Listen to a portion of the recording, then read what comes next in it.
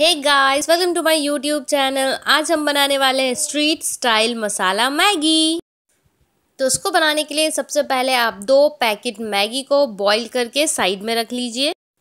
अब एक पैन में थोड़ा सा बटर गरम कीजिए, उसमें ऐड करिए स्लाइस्ड अनियन और स्लाइस्ड अनियन जब पक जाए तो ऐड कीजिए जिंजर गार्लिक का पेस्ट जिंजर गार्लिक का पेस्ट पकने के बाद हम इसमें ऐड करेंगे चॉप की हुई शिमला मिर्च, टमाटर और थोड़ी सी हरी मिर्च।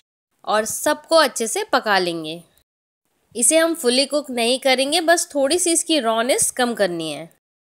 अब हम इसमें ऐड करेंगे बॉईल की हुई मैगी और थोड़ा सा पानी और उसे अच्छे से मिक्स कर देंगे। अब एक मिनट पकाने के बाद इसमें डालेंगे मसाला तो आप इसमें मैगी मसाला के पैकेट्स डाल दीजिए।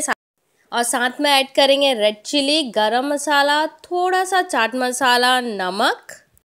और सबको अच्छे से मिक्स करके एक मिनट और पकाएँगे। और ये लीजिए, आपकी स्ट्रीट स्टाइल मैगी तैयार है। Thanks for watching